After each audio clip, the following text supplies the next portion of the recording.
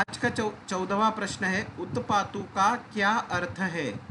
ए, शांति, B है उत्पात, सी है विनम्रता और डी, विकल्प है हिंसा।